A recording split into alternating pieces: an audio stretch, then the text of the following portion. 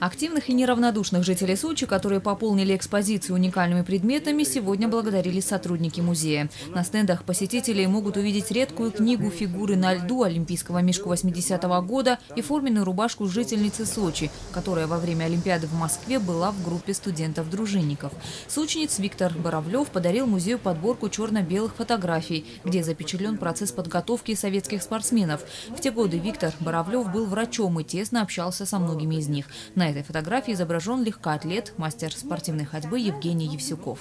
Бронзовый призер Олимпийских игр 80-го года.